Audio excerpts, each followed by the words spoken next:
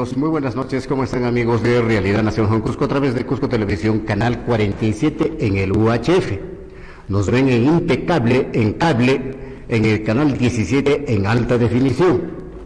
Nos ven a través de Prensa al Día, Cusco Televisión, canal 47 a través de las redes sociales y nos escuchan a través de Prensa al Día Radio en los mil kilociclos de la amplitud modulada, las frecuencias por las cuales ingresamos a vuestros domicilios, amigos de Realidad Nacional Región Cusco, que corresponde a hoy. Hoy día es lunes, lunes 9 de diciembre del 2019. 9 de diciembre del 2019.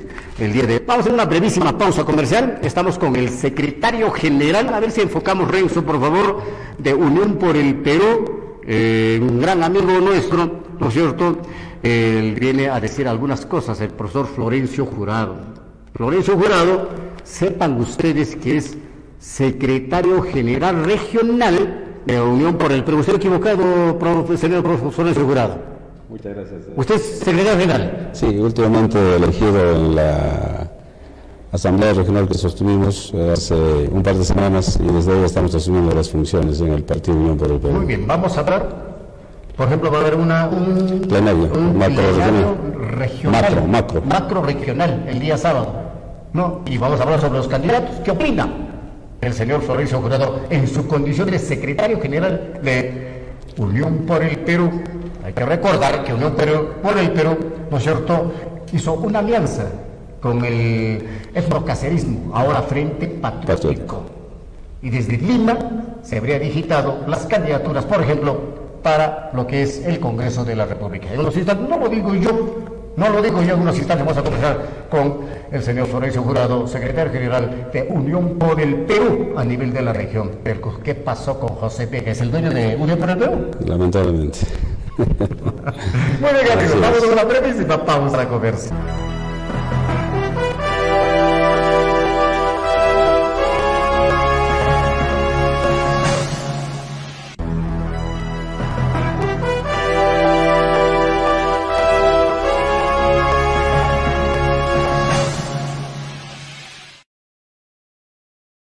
Muy bien, muy bien, muy bien. Amigos, continuamos con Realidad Nacional Cusco a través de Cusco Televisión, canal 47. Invertidos al tiempo. Vamos a comenzar así de manera rápida con Florencio Jurado, secretario general de Unión por el Perú. El día sábado hay un plenario macroregional de Unión por el Perú. Pero que nos los explique Florencio Jurado. Florencio, muy buenas noches. Pero antes, antes, antes, Florencio, eh, a nos preocupa la situación de Unión por el Perú. Por supuesto que sí, porque estamos a puertas de un proceso electoral. Bueno, quisiéramos saber cuál es la situación de Unión por el Perú, por lo menos en la región del Cusco, don Florencio. Muy buenas noches. Eh, bueno, muchísimas gracias a Policarpo por esta brillante oportunidad que me brindas para dirigirnos a nuestro pueblo del Cusco.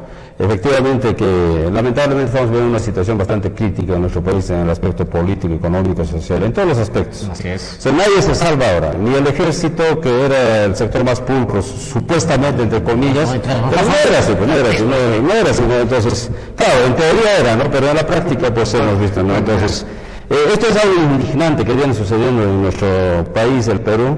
Si nosotros no fortalecemos los partidos políticos, si nosotros no hablamos, debatimos lo que es política en el Perú, especialmente en el Cusco, entonces estos hechos se van a seguir suscitando a nivel No sé nacional. si nivel maneja local. o se digita No, porque así ¿no? es. ¿No? Porque lamentablemente a falta de liderazgos, de líderes, que lamentablemente hemos entrado en una crisis total en el Perú, hay estas cosas que se vienen dando. Pues. A ver, ¿no? ¿qué pasó en Entonces, por el Perú? es lo que pasó, por ejemplo, en el Partido Unión por el Perú. No somos ajenos a esta crisis también que está pasando a nivel Así es, nacional, así es. como todo partido político, pero ese es el momento de que nosotros tengamos que levantar el partido político que tiene una vida de 25 años. Así es, como 25 años. que se ha fundado exactamente por Daniel Estrada Pérez y Javier Pérez de Cuellar. Pérez de Cuellar. Personajes que han dado muchas satisfacciones al Perú como el secretario nacional de el secretario general de las Naciones Unidas, como ha sido el doctor Javier Pérez de Cuellar, y nuestro custodio doctor Daniel Estrada Pérez, ¿no? que enarboló la lucha de la democratización, de la democratización y de la descentralización de nuestro país. Entonces, dentro de ese marco es que nosotros hemos venido trabajando, de repente en buena voluntad hasta estos momentos en que recién hemos sido electos como secretario general del Partido Unión por el Perú. Y esta crisis agolpeaba cada vez que había elecciones. Lamentablemente el centralismo limeño absorbía hasta en política las organizaciones políticas. ¿Cómo mucho? Eh, así es, entonces eso es lo que nosotros éramos de repente simples espectadores sin hacer absolutamente nada, sin, sin siquiera levantar la voz, porque si levantar la voz te expulsaban o no te reconocían en Lima. Efectivamente. ¿No? Entonces eso es lo que eh, ha estado pasando. Y pues eh, frente a esto, por ejemplo, como el partido de izquierda, eh, del centro izquierda, como es en los principios de Perú, Perú, ha hecho alianza con la ultraderecha, por ejemplo, en la elección del 2016, del 2011, con Nuestra Solidaridad Nacional. No sé si te acuerdas de esa etapa. No, entonces, nosotros habíamos rechazado, pero nosotros no se lo habían escuchado, Policarpo. Entonces, y ahora se hace una nueva alianza con el etnocacerismo. Pero el detalle es lo siguiente. Todas estas alianzas lo hacen en consulta del señor José Vega siendo secretario nacional. O sea, se el por el Perú. Hace 23 años. Hace 23 años. No hay quien le diga nada. Así es. Entonces ahora estamos saliendo voces que estamos rechazando todo este tipo de manejo que hace dentro de lo que es Unión por el Perú. Y frente a esto es que nosotros... ¿Y por qué no salieron en su momento?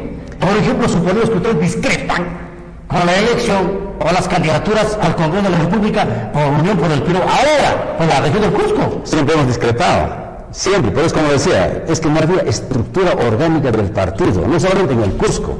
Este malestar se ha suscitado o sea, en general. A ti como secretario general de UPP Cusco, ni te consultaron, o sea, ni te dijeron propon. Claro, es que hasta el momento en que se hace la alianza y las propuestas, nosotros hemos estado procurando estructurarnos como partido político asumir estos retos, estas responsabilidades de los diferentes cargos que hay pues, en el, Comité Regional por el Perú. Entonces, nosotros protestábamos, hacíamos escuchar nuestra voz de protesta a través del comisionado que tenemos ahí, que es el nuevo integrante del Comité Ejecutivo Nacional, como es el compañero Renato Pérez, pero solamente hacía escuchar, pero no llegaba directamente nuestras protestas. Inclusive tenemos nuestra propuesta de candidatos, representantes del Partido Unión por el Perú, de la región Cusco, que eran pues militantes de Unión por el Perú. Pero no se les va tomando en cuenta eso. Entonces, ¿qué hacemos? Como le voy a repetir, hacer difícil dar esa, este primer paso en el Cusco después de ocho años en que el partido de Unión el en el Cusco también cayó pues en una situación desastrosa. Entonces, así es. Entonces, no importa este, este partido político que se llama Unión por el Perú.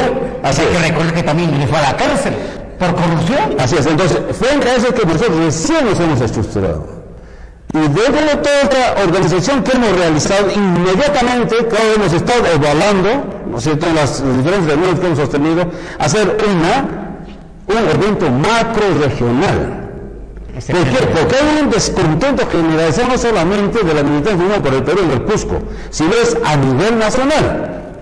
Y cuando lanzamos esta propuesta, inmediatamente las demás regiones se han identificado con este evento y han ya prácticamente asegurado su participación de entonces, entonces, para concluir este, este, a ver, este, este temita, entonces, ¿cómo quedan acá los candidatos? ¿Tienen el respaldo? ¿No tienen el respaldo de por el Perú? Eh, mira, nosotros el día sábado no solamente el tema Cusco vamos a evaluar, sino va a ser tema de todas las regiones del Macrosur que estamos rechazando estas candidaturas que ha sido pues digitado desde el INE.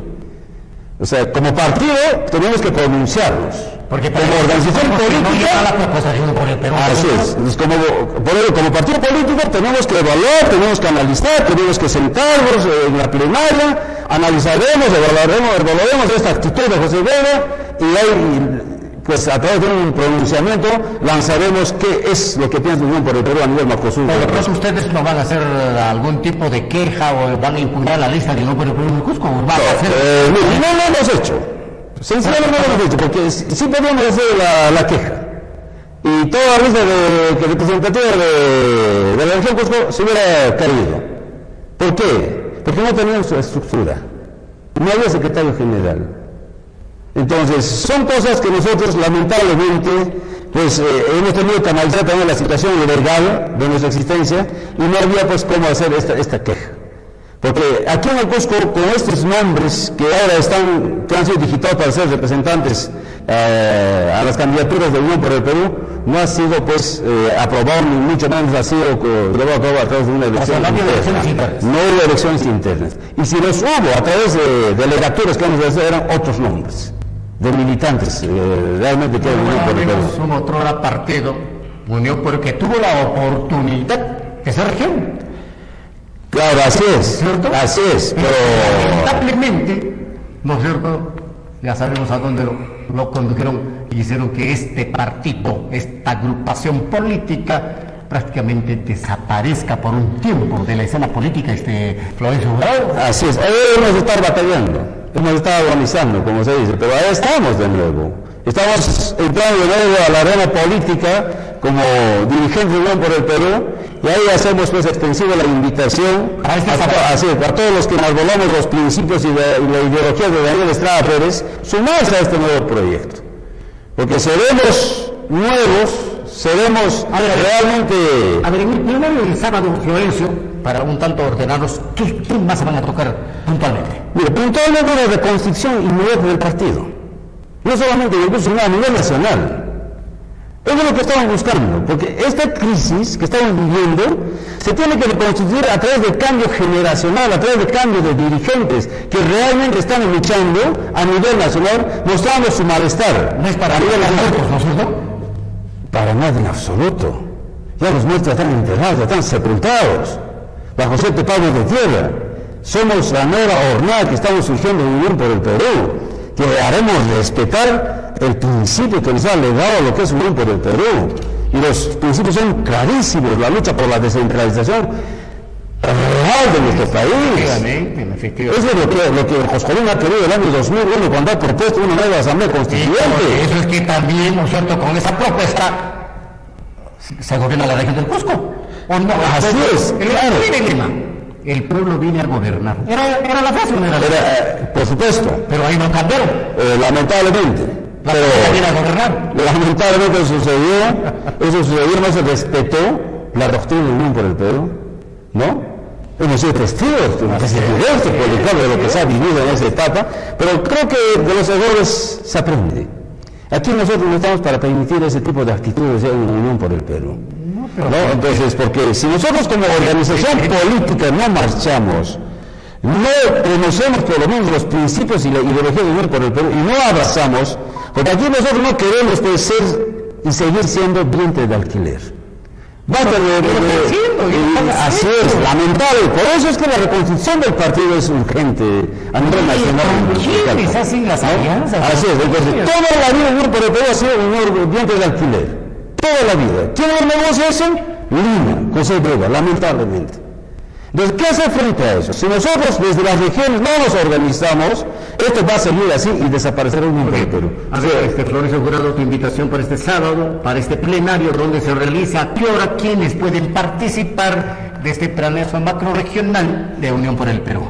Eh, muchas gracias. Eh, hemos crecido la invitación a todos los que realmente amamos a nuestro Cusco, a nuestra tierra, Creo que el legado está presente del gran hombre que nos ha dejado tremenda historia para el Cusco, tremendo legado para el Cusco. Los seguidores de Daniel estaremos presentes en esta reconstrucción de su partido que él ha fundado juntamente con Javier Pérez de Cuellar. Amamos esos principios, practicamos los principios que nos ha legado Daniel Estrada Pérez. Y por eso invitamos este sábado 14 a partir de las 9 de la mañana, en que vamos a iniciar esta plenaria macro-regional que eh, a realizar en el local de Conafovicer. Esperamos, Joscorunas, Joscobarnis, Joscoalquis, vuestra participación. Es un compromiso con nuestro pueblo, con nuestro gran costo de Pachacote Daniel Estrada Pérez. Y ahí queremos verte, hermanos y hermanas del Cusco. Estarán presentes dirigentes de talla nacional, los nuevos dirigentes que están, el doctor Marco Almerí, por ejemplo, el que ha denunciado José Vega. Va, José Vega por los pagos o por los, por los pagos que recibía por una candidatura. ¿Sí? Nos va por muchas cosas. 10 mil dólares, ¿eh? Aquí no está la denuncia. nosotros, por respeto a la jerarquía, José Vega se está invitando. Tiene que estar presente en esta plenaria. No podemos hacerlo en Roma aislada. Lamentablemente el secretario ejecutivo nacional, el secretario general nacional del, del Partido Unión por el Perú. Por lo tanto, tiene que estar presente. El sábado ya hemos hecho llegar al delegado nacional, sí o sí tiene que estar presente para que se acaben todas estas cosas. Y allí, desde ahí, Josco será una vez más la cuna para el florecimiento de el Perú a nivel nacional, no solamente Cusco. Y no vaya a ser para las elecciones generales que otra, otra alianza, ¿no es cierto?, con otro, con otro grupo político de derecha, Dios mío. Justamente, todo eso vamos a evitar con esta plenaria. Este es el inicio. En la cuna, donde nació Daniel Estrada Pérez y que ha sido padre de su el Perú, el gran Cusco. ¿Qué diría María Estrada Pérez o Javier Pérez de Cuellar, ¿no es cierto? Viendo a esta gente, miren cómo negocian este partido político, amigos de Realidad Nacional Región Cusco. ¿Cuánto lo sentimos, Florencio Jurado? Y más aún todavía que no tengan ningún tipo de participación. Acá son figuras decorativas. Desde el secretario general con Florencio Jurado, ni se le consultó, ni no, no, hubo ni propuestas para decir que esta es la propuesta de la base por el Cusco. Tampoco lo hubo Florencio Jurado. Eh, te voy a una propuesta. Enviamos la propuesta. Es cierto la propuesta, pero, pero ni no tomando para nada. Ni siquiera preguntar quién es ella. Acá se maneja por el Perú de manera vertical. Y punto. Dictador, esto tenemos que evitar. Eso es lo que vamos a evitar. Aquí para Por supuesto, por supuesto. Mira, ¿sabes qué de hecho van a confirmar su participación? Para contar, era macro-regional, pero el interés para estar presente en este evento, que es el nacimiento, el renacer de, un partido político como Unión de Perú, es desde Ancash, Huánuco, Lima Provincias, Lima, Ica, Ayacucho, Puno, Moqueo, Tacna, Arequipa, Puerto Maldonado. ¿Cuántos personas están hablando? Que han confirmado su presencia en este evento. Vamos a visitar ese plenario el día sábado, vamos a ver qué otros personajes están, van a regresar ¿No es cierto? Vamos a ver, amigos de Realidad Nacional. Y si regresan, tienen que regresar con el pensamiento y la ideología del por el Perú. Simplemente.